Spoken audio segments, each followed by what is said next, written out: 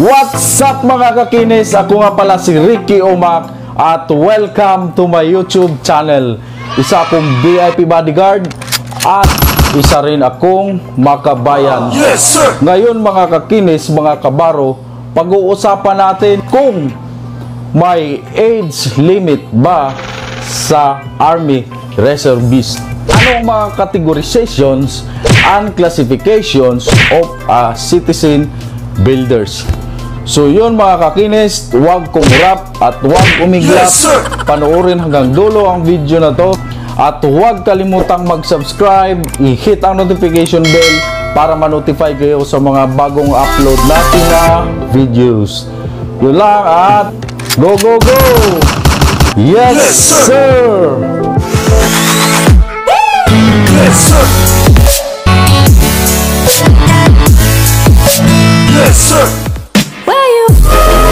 Mga kakinis, pag-uusapan na nga natin kung ano ang classifications and categorizations Yes, of a citizen soldiers.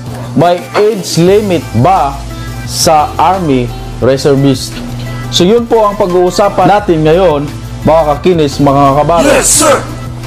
Ayon sa RA 7077 sa Section 12, pag-uuri ng mga sundalo ng mamamayan, mayroong tatlong kategorya ng mga sundalo ng mamamayan ng mga reservist ng AFP. Yes, sir! Ang first category, reserve, at second category, reserve, at ang third category, reserve.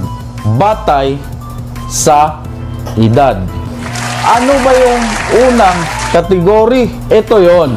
Ang first category, reserve, ang unang category, reserve, ay dapat na binubuo ng mga may kakayahang katawan, katawan, one, na mga reservist na ang edad ay nasa pagitan ng labing walong taon at tatlumput limang taon Yes, sir! kalakip kasama nito. So, yun po ang unang kategorya ng reserve.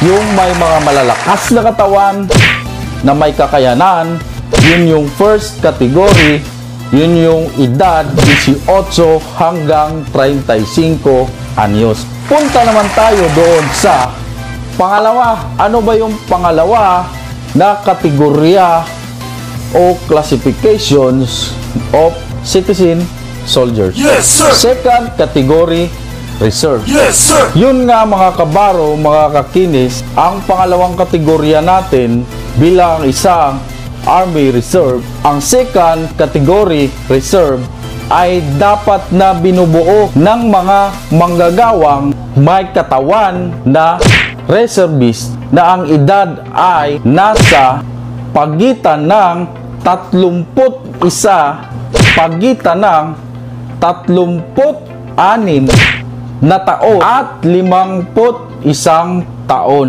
Yes, sir! kalakip o kasama. Yun po ang second category reserve. Yes, sir! So, yun pong may mga edad na nasa pagitan ng 36 at 51 taon gulang ay kayo po ay nakapaloob sa second category Yes, reserve. sir! So, yun po yun mga kabaro. Yes, sir! So, pupunta naman po tayo doon sa pangatlo. Ano po ba ang pangatlong kategorya ng isang Army Reservist? Yes. So, ito po yon. Makinig.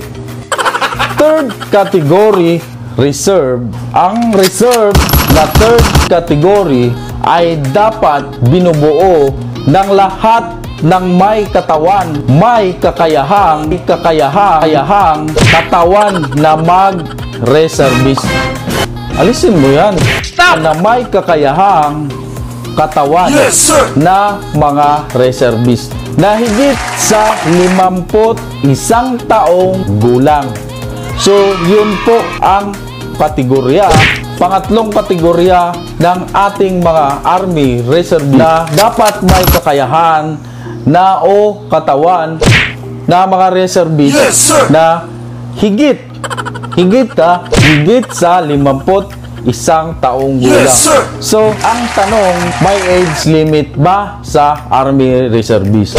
So, sa pangatlo, nakapaloob po doon na kung may kakayahan yung katawan Yes, sir. na mga reservist na higit sa 51 taong gulang. So, ibig sabihin po, kung higit pa sa 51 taong gulang ang edad nyo, kayo po ay nasa pangatlong kategorya. So, Yes, sir. yung mga lagpas sa 51 anyos, wala pong problema doon. As long as kaya nyo pa po ang military training.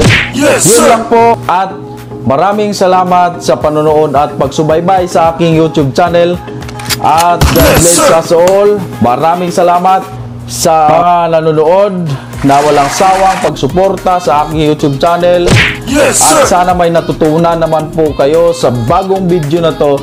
At huwag niyong kalimutang mag-subscribe. I-hit ang notification bell para ma-notify kayo sa mga bagong upload natin na videos. Yun lang po. At go, go, go!